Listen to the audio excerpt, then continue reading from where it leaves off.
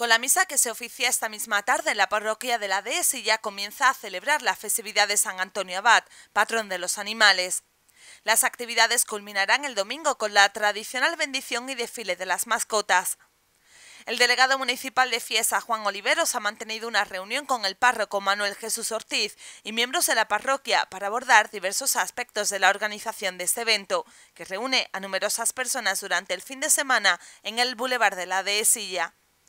Ese año, como novedad, el sábado tendrá lugar a la una y media de la tarde el primer concurso de menudo Amor y Humildad.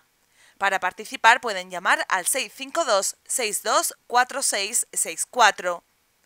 El domingo las actividades se iniciarán a las 11 de la mañana con la inscripción de los animales. A las 12 será la Eucaristía y a la 1 de la tarde la bendición y el desfile.